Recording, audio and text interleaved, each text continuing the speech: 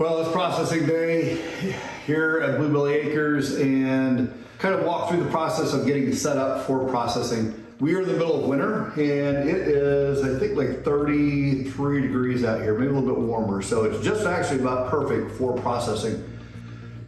We have uh, the animal that we're doing a pig today uh, in the cooler. So we're ready, we've already done one and getting ready to move on to the second one. But I want to kind of talk about what do you think about before you go into the whole process of doing your cuts and getting it ready for the freezer.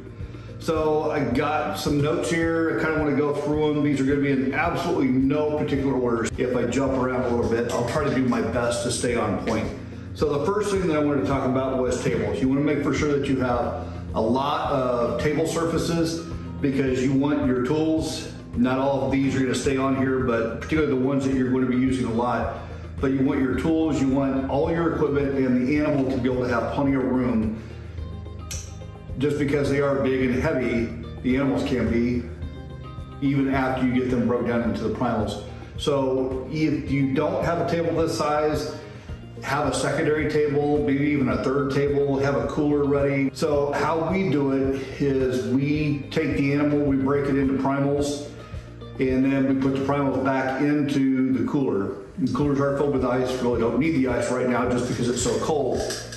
But we go ahead and put the primals into the freezer or in the coolers and then pull them out as we're doing the individual cuts. So tables, you want something, this is a plastic uh, type this is okay. I've seen people with butcher block that's actually good. If you have a butcher block that's actually big enough, stainless steel would be another good option. And you will notice that I'm sitting. Um, this is a long process, especially if you're doing multiples. So you want to be able to be comfortable because it, especially like I'm not getting any younger, if you hurt your back, then it's gonna be a long, slow day. And trust me, it's a long, slow day, even if you don't hurt your back. So I like a nice regular size table and then I just have a little swivel chair that I get to sit on, and if I need to, I can stand up and move move things.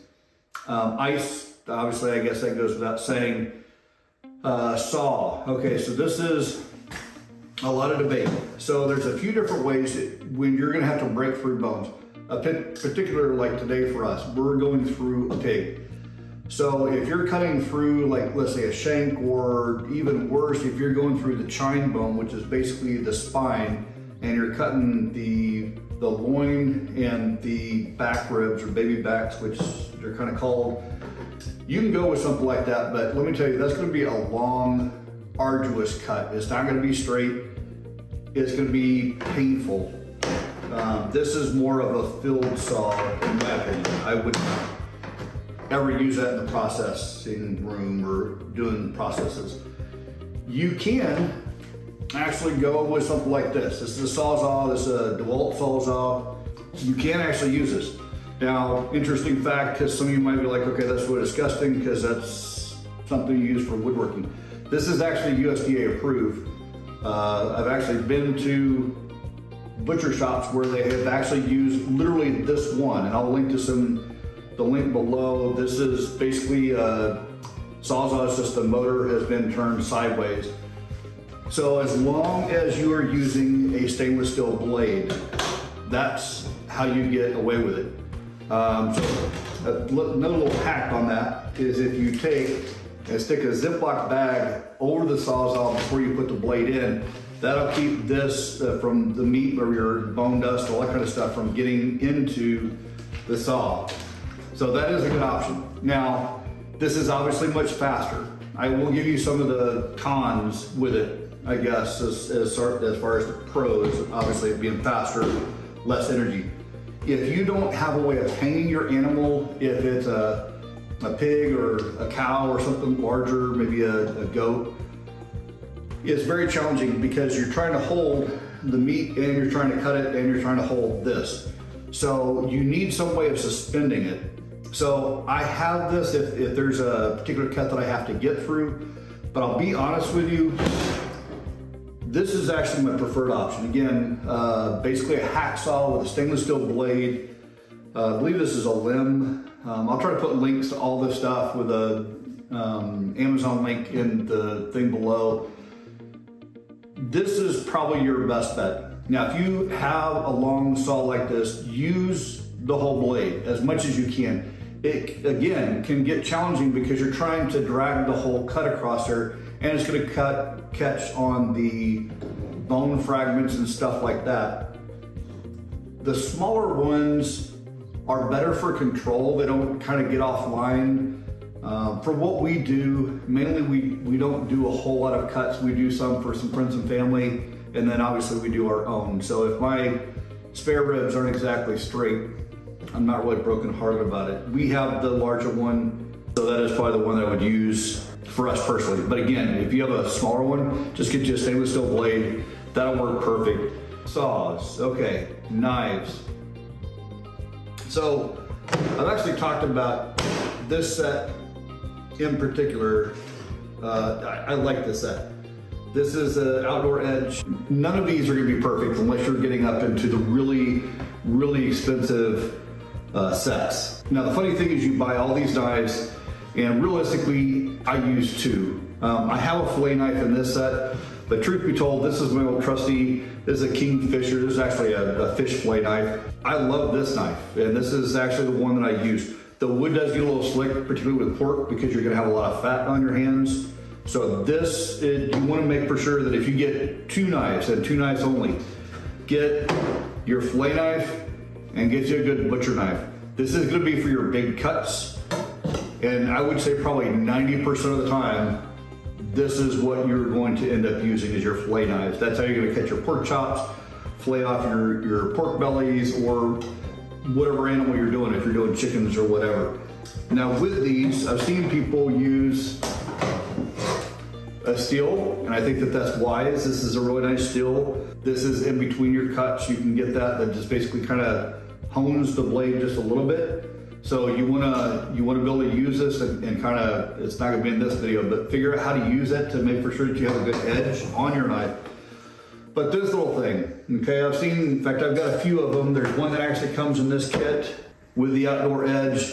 Basically, it's the exact same thing. This is a it's a cheater way of putting a good edge or a decent edge on your knife. Um, if you just need, if you're finding it's not cutting, get you something like this. It's got the finger guards. This one's more solid. Um, this one's a little bit softer, but it's still, and essentially all you're doing is you're just, you're just dragging your knife down. You don't have to put a whole lot of pressure on it, uh, and that's gonna put a really nice edge. Be careful if you don't put this, that you're not doing this over your meat, or you will find that you're gonna have little metal chunks in your cuts. But if I had these three in a saw, I could pretty much cut up a whole animal regardless.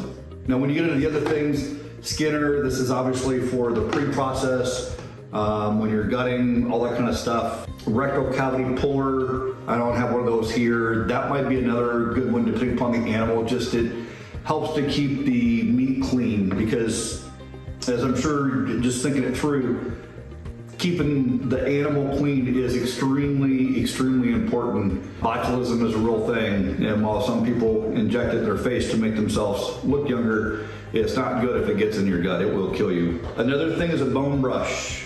Now, whenever you get done sawing, you're gonna have a whole bunch of bone dust and a bone brush. Basically, it's this is made out of plastic, and this, this is not hard at all, but it will scrape across the meat. Uh, it will get all of the bone chunks off of the meat. Uh, again, nobody wants to be eating a pork chop and you know have a have a bit of bone get stuck in their teeth. So this is good. You just scrape this off and then flick it into your yuck bucket uh, trash, basically. And since we're talking about yuck buckets, I'll kind of touch on that here for a moment. So I actually have uh, multiple buckets here. So for like the where I break down the primals, then I'll stick those back either back in the cooler or I'll stage them if I have Lynne actually packaging. Normally she does that inside, mainly because it's 30 degrees out here, so she's the smart one of the two. But I've got a yuck bucket over here. Essentially all it is is it's a trash can. So if I have bone chunks or whatever, I throw it in there and I make for sure that I know which one that is. If there's a bit of hair, if there's something here, I'm gonna throw that in there because I, I need to, especially if it's warmer, if you're processing in where it's not 30 degrees outside or 30 degrees in your, your wherever you're processing, you need to stick this in the freezer because you don't want it to go bad. You want it to attract animals. And I need to get that to the dump or take care of this as quick as possible. So I have a yuck bucket here. I have some, I have another bucket, it's just a five gallon bucket. And I'm gonna put maybe some of the more interesting pieces that maybe like if a friend or family is having me do it, they might want the neck bone. Some people do. They'll smoke them up and it's a great seasoning for soups, the, the neck bone is, particularly with a pig. But some people are like, nah, that's just way too much work. Okay, well, it's not gonna go there. Either we're gonna use it, roast it up and turn it into bone broth, or it's gonna go into the yuck buckets. Uh, we need to make for sure that we know exactly where all of our stuff is. I also have another bucket down here again, particularly with pork, that is my sausage bucket. So as I'm cutting stuff up or if I'm squaring up an end, then any of that excess stuff is not gonna go in the yuck bucket, it's gonna go in the sausage bucket and we'll take that in and grind it. Gloves. So one of the things that I don't do that I really should do, and I would highly recommend that you do it, uh, it will be something that we add to our repertoire, but if you're in a home setting or processing or anything, like you, you can't just go out and buy everything. It can get really, really expensive. So, and granted, this is a small thing, but it's a chainmail glove. I can't recommend enough because I can't tell you how many times I've come close to cutting myself really bad. So a chainmail glove is actually something really good to have. It wouldn't be, so I'm right-handed, so my knife is gonna be in my right hand, so my chainmail glove so oftentimes you're cutting and you'll find that if you're moving toward your hand, it's probably a good idea to have a chainmail glove. However, even if you don't have that, get these, okay? This isn't gonna really protect your hand, but it is gonna keep some of the fat and the stuff off of your hands. Again, cleanliness is so stinking important. In fact, I even have a bottle of cleaner that in between like primals and whatnot, I will spray down, spray my uh, instruments down. Sometimes I'll take them in and actually have a coffee break, clean clean my knives, clean up everything, and kind of reset uh, both my staging area and my brain. Lighting, I actually have an LED light that uh, not only do I have the overhead lights, but you want as much light as possible on the animal as, as you're cutting it up.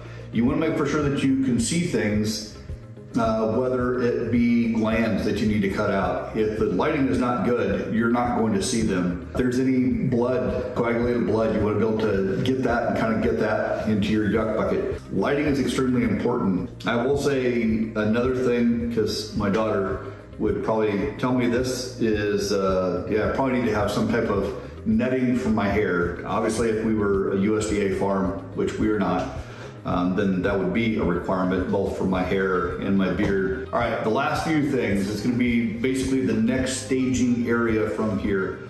But before I move on, I do wanna ask just a big favor. If you can, if you're getting some value out of this, just please give me a like, subscribe, and if you get a chance, actually leave a comment down below. Am am I missing something? Because maybe you might be doing something in your process that I'm not even thinking about. The last station before it goes into the freezer camp is packaging. Now we vacuum seal everything that we can.